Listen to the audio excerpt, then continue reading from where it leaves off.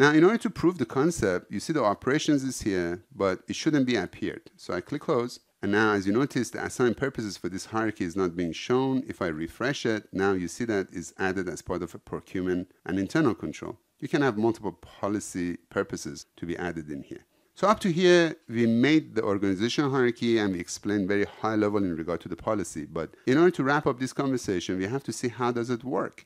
I jump the gun, I go to the procurement and sourcing, even though I haven't set up anything, is irrelevant. I can set up the policy early on. There is a menu item called policy under the setup, and if I go to the purchasing policies, you notice that this is shared across legal entities. I can create a brand new one. For example, I call it SRHQ, and that would be purchasing policy just shorten it. You notice a few things. There are so many different rules out of the box. So it would be beneficial as a functional consultant to get acquainted with these policies first, understand it, practice with it. And then when you talk to customers or your colleagues in a company, you could benefit from existing policies out there. But prior to that, let's take a look at the policy organization, and that would be interesting. As you notice, by default, there is an organizational hierarchy called company, but that is causing another conversation here. As you notice, if I go back to organizational hierarchies in a different tab, you don't see company here. They are alphabetically listed. So what is this company all about?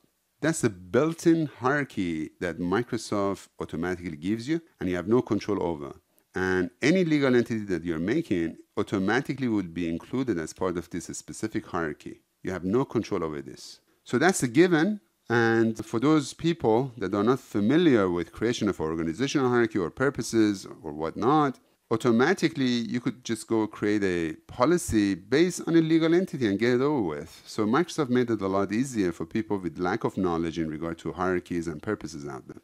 As you notice, those two hierarchies that I've added it in here they are not being shown. So what do we do? There's a parameters here, and as you see, the hierarchies that I've picked up as part of my session are being listed here. There are candidates to be chosen for this policy. So I can pick and choose both of them or one at a time. Again, that's one of those specific graphical bug that should be fixed. I add one at a time, let's say. And then pretty much you notice that you can have a precedence of order. I would like to make sure SRHQ would be the first rule of the hierarchy to be applied.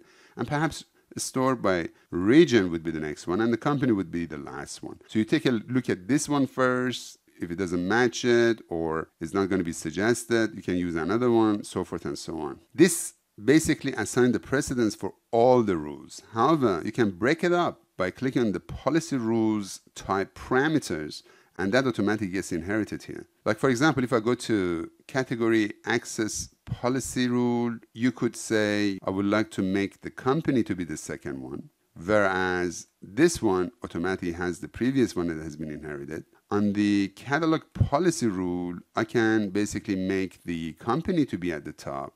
This is again one of those bugs, don't worry about it, that it shows it twice, but it's going to be okay. So it actually shows the companies at the top, SRHQ at the bottom, etc. So you can define which precedence for each rule is going to be applied. When I click close,